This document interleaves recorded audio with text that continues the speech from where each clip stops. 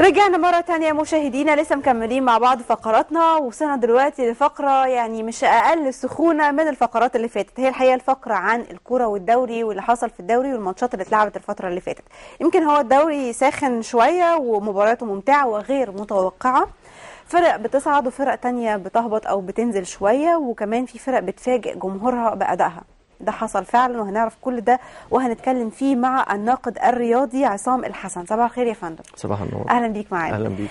طبعا تعليق حضرتك إيه على مباريات آه، اللي حصلت امبارح؟ كان في أكتر من مباراة فعايزين نعرف تعليق حضرتك إيه عن الأداء وعن المباراة اللي حصلت.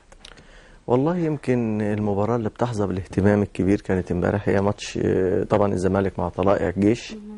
وأعتقد إن الزمالك خيب أمال جمهوره امبارح وفقد نقطتين غاليتين في مشوار الدوري العام وإن كان كان آه، كل طموح وأحلام جمهور الزمالك إنه يفوز امبارح بعد إن الأهلي تعادل أول امبارح. طب وحضرتك شايف إنه كان أداء النادي الزمالك كان يؤهله للفوز ولكن الحظ ما أسعفوش؟ ولا ال ال ولا الفريق التاني كان أداؤه فعلا كويس فعلشان كده قدر- يحافظ على الأقل على نقطتين؟ لا بص آه، هو امبارح كان التحكيم ليه دور مؤثر كبير جدا في آه، شكل ونتيجة المباراة. خلينا نتكلم آه، كلام منطقي عشان الناس تحترم النقد بتاعنا. أوكي. آه لا الحكم للأسف الشديد ما كانش موفق في كثير من القرارات أثرت على النتيجة وأتت عكسية بالنسبة للزمالك وجمهوره طبعا. وإن كان هو التحكيم بيواصل مشواره السيء آه، في الموسم ده لبقية مواسم آه، فاتت. ويمكن ده مش أنا اللي بترجمه لكن حتى اتحاد الكرة ترجمه. لما كان نهائي كاس مصر بين الزمالك وإنبي وطلب حكام أجانب. يعني الزمالك ما طلبش الحكام الأجانب ولا إنبي طلبت الحكام الأجانب. واتحاد الكرة تبرع من نفسه وجاب حكام أجانب. وده يعني تصريح ضمني وإقرار ضمني من اتحاد الكرة إنه لا يثق في التحكيم المصري. لأن لأن ما اسندش المباراة دي لحكام مصري. آه ف- وأنا شايف حتى يمكن الزمالك انضر بالتحكيم امبارح لكن الزمالك برضو في المباراة بتاعت غزل المحلة اللي أقيمت في استاد الإسماعيلية في الأسبوع اللي قبله استفاد برضو من أخطاء التحكيم. فإحنا مش بنقر التحكيم بصفة عامة إنه بي- بيحابي الفريق على فريق ولكن هي أخطاء متتالية عشوائية بدون حسابات المستوى هابط. وللأسف الشديد برضو إن اتحاد الكرة كان من المفروض نتيجة الأخطاء ال- المتتالية دي في السنوات الأخيرة إن هو يستخدم خبراء من التحكيم في أوروبا يدي محاضرات للحكام المصريين أو إن هو يرسل بعض الحكام من مصر ي- يعملوا دورة. يعمل آه يعمل لهم دورات.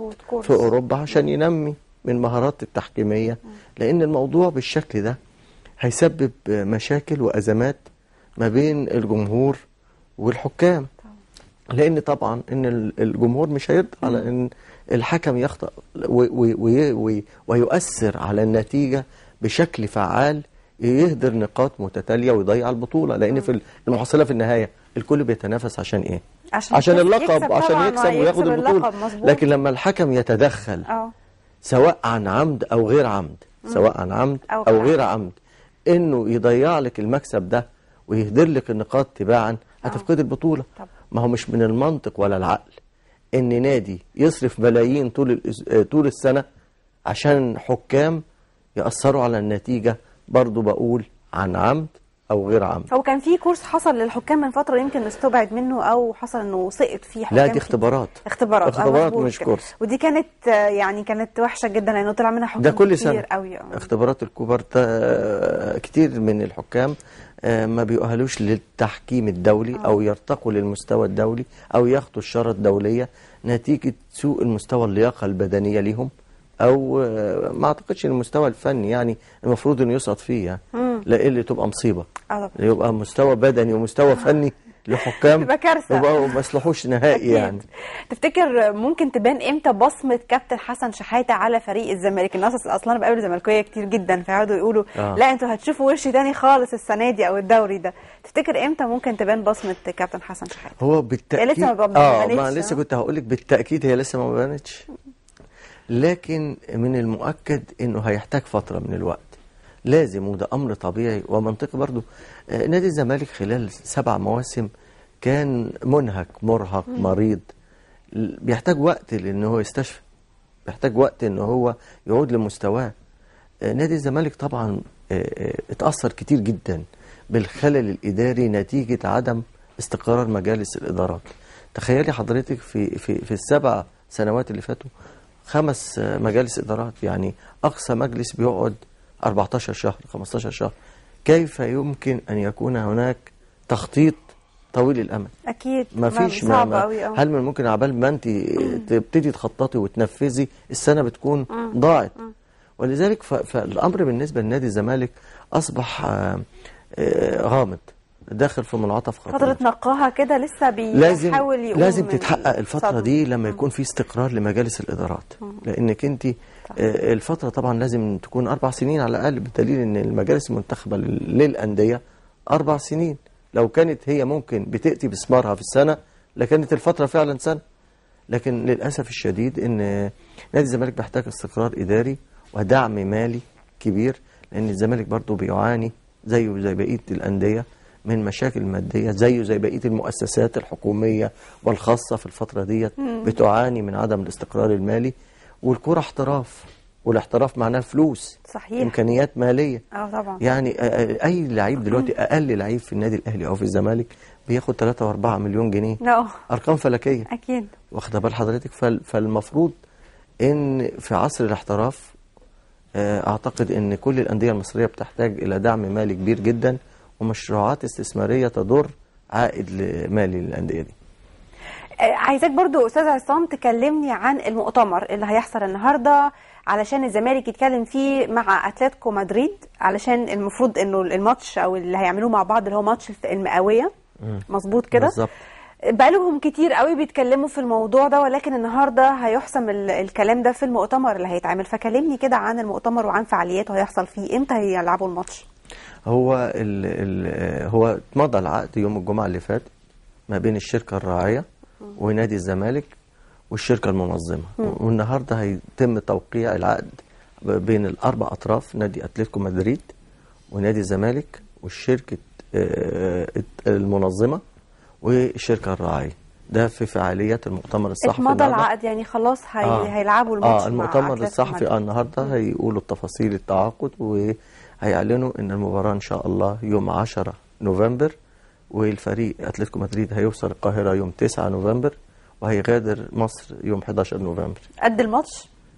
آه بعد الماتش بقى. يعني يوم من 9 ل 11 هم هيجوا نفسنا 9 ده. يلعبوا 10 يمشوا 11 إن شاء الله بس آه، وأتلتيكو مدريد أعتقد إنه فريق مش زي ما الناس بتتكلم عليه. أنا شفت انتقادات موجهة لنادي الزمالك آه.